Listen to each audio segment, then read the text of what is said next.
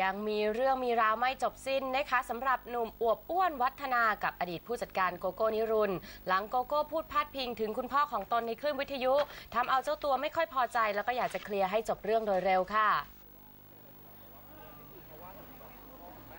ก็เหมือนกับพี่โก้เขามาพูดถึงคุณพ่ออ้วนออกทางสื่อนะครับก็อ้วนก็ไม่ค่อยพอใจเพราะว่าอ้วนคิดว่าเหมือนแบบมันเป็นการทำงานกับอ้วนกับพี่โก้มากกว่าอะไรอย่างเงี้ยครับผมเหมือนเขาพูดประมาณว่าคุณพ่ออ้วนแบบไม่เป็นคนไม่รักษาคำพูดอะไรอย่างเงี้ยครับผมซึ่งคุณพ่ออ้วนก็เป็นผู้ใหญ่แล้วก็ 60 กว่าแล้ว ซึ่งคุณพ่ออ้วนเขาก็ไม่ได้ทำอะไร เพราะว่า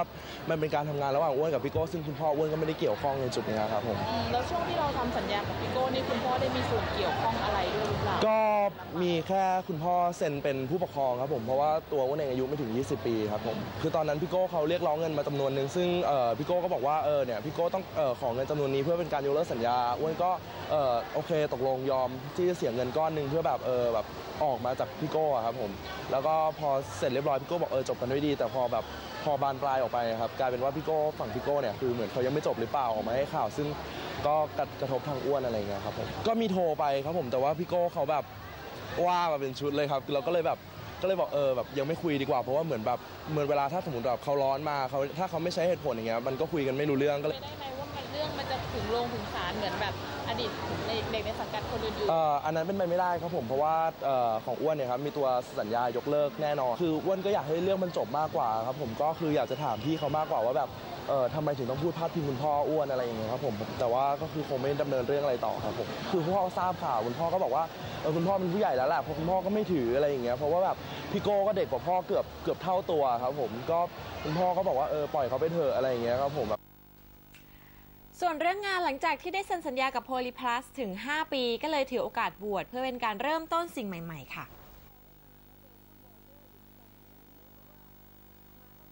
ก็อบอุ่นครับผมก็เอ่อทุกคนพี่ทุกคนก็เหมือนเป็นครอบครัวครับผมก็ทำงานสบายใจครับผมก็มีความสุขขึ้นเยอะมีความสุขกว่าเดิมเยอะครับผมๆแค่ผลงานชิ้นแรกที่จะออกมาภายใต้ผลิตภัณฑ์คือเอ่อตอนนี้ก็เสร็จงานนี้เดี๋ยวก็มีไปเอ่อคุยกับลูกค้าครับผมเรื่องเป็นเรื่องงานพรีเซนเตอร์ครับผมแต่ว่าเอ่อวันจะบวชวันที่ 8 ธันวาคม ก็พอสึกออกมาต้นปีเนี่ยก็เอ่อคุณกวางเลยค่ะคุณนิดก็บอกว่าคุณนิดเอ่อยิงออกมาว่าแบบเอ่อเดี๋ยวลงงานละครต่อ แต่ว่าตัวนี้อ้วนยังไม่ทราบรายละเอียดมากนะครับเหมือนแบบอ้วนก็คงบวชเพื่อแบบให้มีแบบมีสิ่งดีๆ เข้ามาในชีวิตมากกว่าอะไรเงี้ยครับผมแบบเริ่มต้นชีวิตใหม่อะไรเงี้ยครับกับเอ่อที่ใหม่ๆทุกอย่างใหม่ๆครับผมบวชที่วัดยานาวาวันที่8ธันวา8เออ7โมงครึ่งครับ กี่วันบวชเกือบเดือนครับผม ก็อย่างแรกก็ต้องเออยอมรับก่อนว่าเพื่อตัวเราเอง แต่ว่าเอ่อสุดท้ายเราก็เพื่อคุณพ่อคุณแม่เพื่อครอบครัวแล้วก็เพื่อทุกคนที่เรารักอะครับผมแล้วก็รักเราเขาก่อนมาบวชหรือเปล่า เอ่อก็คือถ้ามีโอกาสเคลียร์ครับผมก็ดีแต่ว่า คือไม่ทราบว่าพี่เขาจะแบบคือก็ได้ข่าวว่าพี่เขาออกมาพูดว่าแบบไม่อยากเอ่อยุ่งกับเด็กคนนี้แล้วอะไรอย่างเงี้ยก็แต่ว่าไม่อยากยุ่งแต่ก็ยังจะพูดถึงเราอะไรอย่างเงี้ยครับผมแล้วก็ไม่เคลียร์ก็ไม่เข้าใจเหมือนกันครับผมก็แค่เคลียร์ได้ก็ดีกว่าไหมครับก็คือเหมือนจบๆกันเงี้ยครับผม